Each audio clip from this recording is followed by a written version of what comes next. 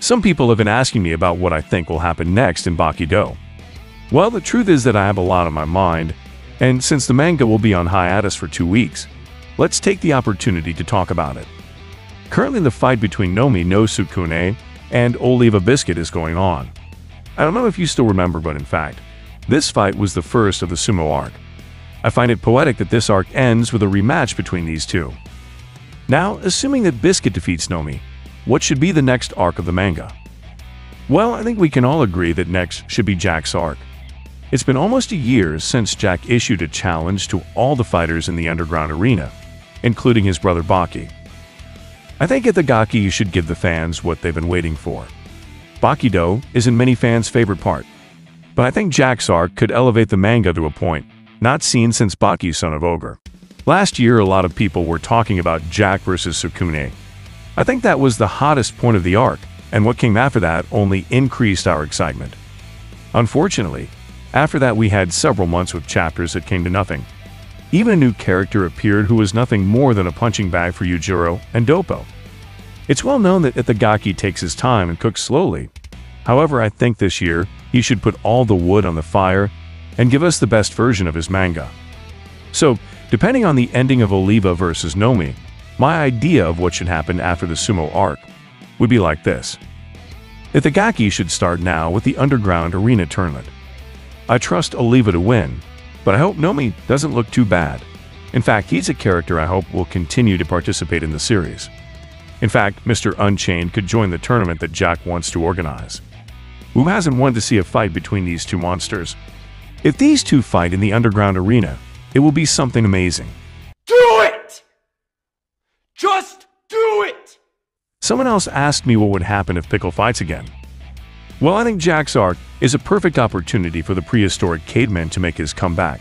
After all, he hasn't had a fight since he faced Musashi. Everyone wants to see if Jack will be able to overcome Pickle, or if titanium teeth won't be enough to overcome the strongest bite in prehistory. I'd like this new arc to start with Jack training and making it clear who his first prey will be. Who do you think Jack's first opponent should be? Among the candidates, we have Doppo, Katsumi, Gaia, or Baki and maybe Oliva will join the list. Personally, I would like to see Jack versus Mothopi first and have Jack get revenge for what happened in the past.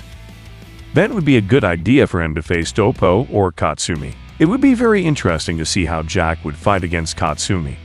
If he decides to face Katsumi, we would surely be seeing one of the best fights of the series.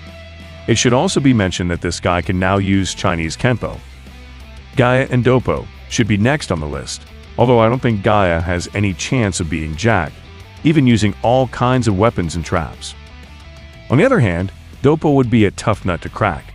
Jack would definitely not have it easy against this Karate Master. And as I had said before, his fight against Oliva Biscuit had to happen now or never. And the results of these fights are clear. Jack must beat them all to arrive with credibility to his fight against Baki.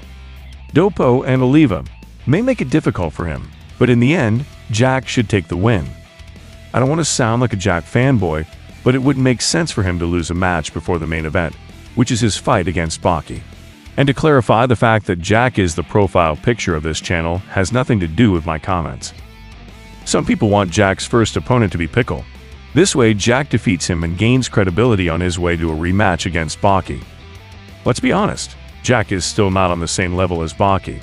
As much as Jack defeated Sukune, Baki is still way above him. It should also be remembered that Baki was far superior to Nomi. And even though it wasn't an official match, Baki humiliated Nomi and made him look like a rookie. On the other hand, I would like Nomi to stay with the main characters. He is a fighter that has a lot of potential. But well, this is just my opinion. Don't forget to leave me yours in the comment box. And well friends, thanks for watching the video. Don't forget to subscribe if you liked it. I hope you have a nice day or night. See you soon.